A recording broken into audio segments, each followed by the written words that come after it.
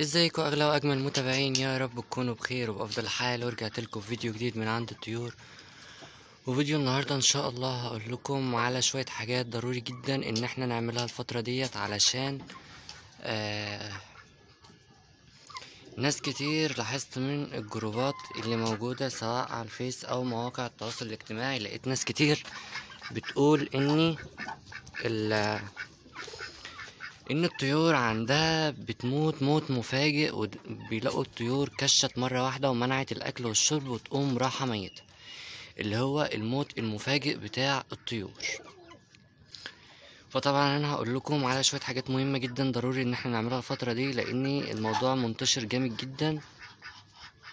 طبعا الذكر ده لسه غشيم ما بيعرفش يكسر كويس برغم إن هو يعني ما شاء الله بس لسه غشيم ما بيعرفش يكسر كويس. يعني الكسر بتاعه جه على الفاضي اهو. زي ما أنتم شفتم طبعا أنا لو هتلاحظوا هتلاقوا الفراخ مش موجودة. أنا طبعا حابس الفراخ في العشه من الصبح ما خرجتهاش خالص وحاطط لهم اللي هي التوم بالبصل بالليمون بالكركم بالخل. عامله لهم من الصبح وحاطط لهم جوه حاطط لهم الأكل والمية. وما بخرجهمش خالص. ليه بقى؟ لأني الشوطه بتبدأ يعني ناس كتير بتشتكي من الموضوع ده اللي هو الموت المفاجئ. أنا مش هقول عليه شوطه بس هو نوع من أنواع الشوطه برضه. هقول لكم تعملوا إيه بالظبط الفترة دي لأني الفترة دي ضروري إن أنتوا تعملوا كده علشان الطيور تقدروا انكم تحافظوا عليها ولا قدر الله ما يحصلش عندكم أي خسائر. طبعا الرومي أنا زي ما أنتوا عارفين بحبسه في العشة التانية اللي هي اللي ورايا. آه علشان برضو الرومي من الطيور اللي بتبقى عرضة جدا للفيروسات اللي بتبقى في الجو دي. بس يلا بقى كده بسرعة اعملوا لايك على الفيديو واشتركوا في القناة. آه واللايك مهم جدا إن إن هو يتعمل علشان الفيديو يترفع وناس كتير تشوف الفيديو ده. تمام عندنا هنا اللي ماشي دلوقتي محدش عارف له حاجة وبيحصل إني يلاقي الفراخ أو الطيور عنده منعت الأكل والشرب وكشت مرة واحدة.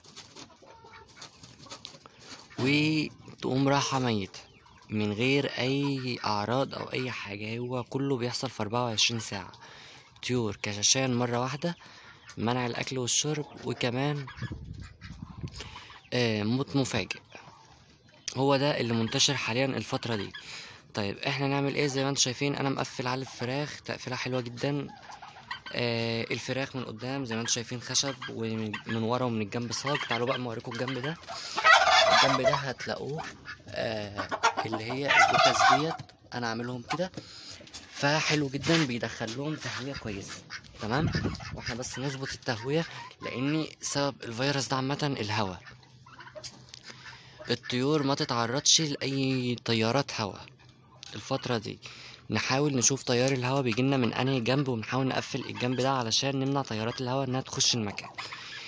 لما نقفل على الطيور نقفل عليها بالطريقة زي ما أنتم شفتوا دي اللي هو يدوبك المكان اللي بيخش منه بيكون التهوية بتاعته كويسة ليهم ما يقدروا يتهووا وما يحصلش كتم أو أو أي حاجة للأمونيا أو الكلام ده كله. تمام؟ آه نستعمل الفترة دي الثوم والبصل والخل والليمون. يعني أنا كنت بقول لكم مرة كل 15 يوم نحاول إن إحنا نستعملها لهم مرة كل أسبوعين. لأنها هتفيدهم جدا إيه الفترة ديت وهتبقى واقي حلو جدا لأي فيروس. أو زي ما نقول كده هتحصنهم ضد أي فيروس. علشان الفيروس ماشي بطريقة يعني غبية جدا وكمان اديك الرومي والله لقيته الوقت متعور أهو لسه أخد بالي منه. آه فاللي هو نحاول ناخد بالنا الفترة ديت بقدر الإمكان. حتى البط اللي أنا بقول عادي البط البط بيتحمل عن الطيور لأ أنا برضو هعمل هقفل حتة برضو على السطح وهحبس فيها البط. الفترة ديت علشان الموضوع بقى منتشر جامد وعند ناس كتير. نحاول إن إحنا فترة آخر النهار ديت ندي للطيور مضاد حيوي وفترة الصبح نديلهم روافع مناعة على قد ما نقدر. يعني نمشي على الأقل عشر أيام بالطريقة ديت الصبح. بس المضاد الحيوي نستعمله خمس أيام بس لكن روافع المناعة عادي إن إحنا حتى لو هنديهولهم شهر. بس المضاد الحيوي نديهولهم بالظبط آه خمس أيام. نديلهم بعد فترة العصر. عشان يكون الجو حتى بقى حلو كده نبدأ إن إحنا نديلهم المضاد الحيوي. ما نديلهمش بالنهار بدري علشان الجو بالنهار بيبقى شمس وحر فالطيور ما تهبطش مننا ويجيلها هبوط. نديلهم آه، روافع مناعة طول فترة النهار ديت. وفترة آخر النهار مضاد حيوي. رافع المناعة عادي إن إحنا نديلهم يعني فترة طويلة لكن آه، المضاد الحيوي نديهولهم بس بعد العصر. تمام؟ دي حاجة. نحاول يعني أنا الرومي ده إن شاء الله أنا ببلعه كل يوم ثلاث فصوص توم على غير ريق والبط كذلك لأن أنا عندي كمية معدودة يعني أقدر إن أنا أمسكهم واديلهم مش هيخسروني حاجة. لكن الناس اللي عندها كمية كبيرة آه تحاول تجيب إن هي تجيب آه دواء كويس من عند الدكتور البيطري يكون حلو ليهم كوقايه الفترة دي. لأن الوقاية الفترة ديت حلوة جدا وهتفيد الطيور جامد لأن الفيروس معرفش أنا نوع الفيروس اللي منتشر في الجو عامة بس هو آه ما بيكلوش سبق أع- أعراض لأن الفيروس كله أو انتشاره كله بيحصل في 24 ساعة كشاشان وبعد كده منع الأكل والشرب بعد كده موت. ده اللي بيحصل اللي حاصل عند ناس كتير قوي الفترة دي. فعلشان كده أنا هحاول بقدر الإمكان إن أنا ما أعرضش طيوري لأي تيار هواء الفترة دي خالص. أحاول أحافظ عليهم بقدر الإمكان الفترة دي لحد ما اليومين دول يعدوا على خير. لأني ال مش عارف أنا في إيه بالظبط في الجو بس بحاول إن أنا أعمل لهم شوية الحاجات دي. تمام؟ ولما نيجي حتى الطيور اللي هي المتحبسة دي لما نيجي نسيبها الصبح نسيبها بعد الساعة تسعة علشان الجو حتى تكون الشمس طلعت.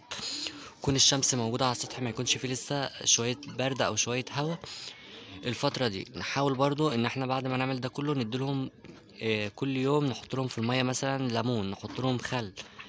ما, ما نسيبهمش الفترة ديت بدون أي ح... ما نحط لهمش مية بمعنى أوضح مية من غير حاجة لأ والمية تتنضف والوعي بتاعت المية تتغسل باستمرار.